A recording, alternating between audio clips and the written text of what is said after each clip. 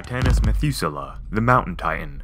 This mysterious creature had mere seconds of total time during Godzilla King of the Monsters. But that didn't stop the monster from getting quite the fan response during the promotional run for the movie.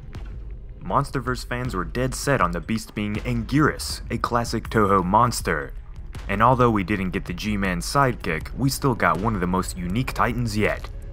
Not much is known about the full appearance of Methuselah, but this is what we do know about the titan.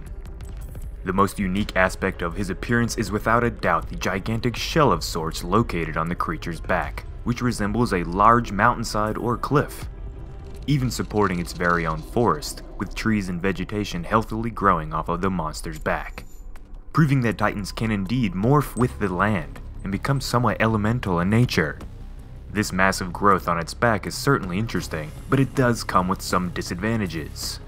The immense weight and awkwardness of this design makes Methuselah move very slowly and awkwardly, much like that of a tortoise.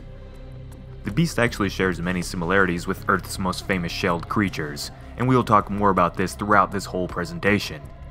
Methuselah walks on four legs, with its forelimbs sporting massive claws for combat, and its hind legs resembling something more akin with hooves.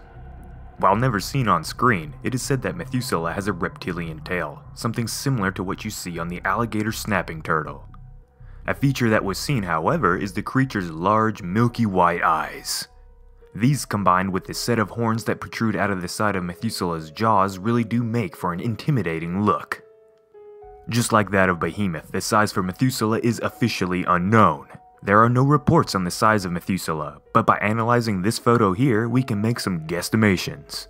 The trees seen here appear to be some sort of spruce or pine, common trees found throughout Munich and Germany. While they can grow much larger, these trees tend to reach heights of 60 feet or 20 meters.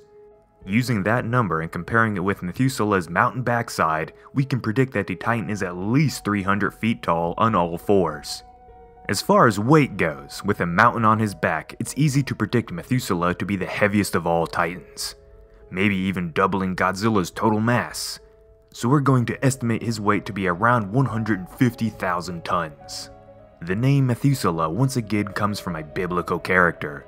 Methuselah was a man that supposedly lived to be 969 years old. While this is not official, this name could mean that Methuselah is the oldest of all titans maybe originating during the time when Earth was still itself shaping into the world that we see today. It's quite possible that this Titan could be 1 billion years old, at least, a truly unimaginable number. Legend has it that the resting place of Methuselah in Munich was once the location of a medieval village. Within the book version of King of the Monsters, a man tells a story where a traveler from these times left this village for some time, and upon returning, where the village once was, now a mountain took its place. This mountain was Methuselah. While Methuselah doesn't have any known special powers, this doesn't mean that the Titan cannot inflict damage with its giant claws, horns, and insanely powerful jaws. Its most impressive ability would likely be the defense provided by the giant mountain shell, with most attacks simply doing nothing at all to the beast. Methuselah may be the heaviest and oldest of all the Titans. Where does that place the beast on the Titan power ranking? The Titan ranks at the top when it comes to defense, but all other aspects are lower than normal due to its slow and awkward nature. We give Methuselah a 75 out of 100 on the power score. What do you think? So I hope you guys enjoyed this video, hopefully enough to share it with your friends. Make sure to subscribe to become a resident today and show us that you want more. I thank you all so much for watching our content and I hope you feel like sticking around with our growing community.